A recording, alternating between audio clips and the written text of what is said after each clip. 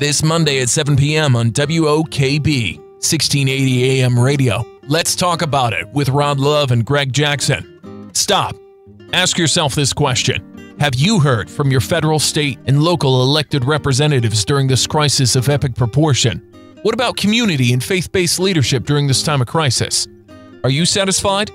Give credit where credit is due, but also critique what needs attention. Sound off on Let's Talk About It this Monday with Rod Love and Greg Jackson.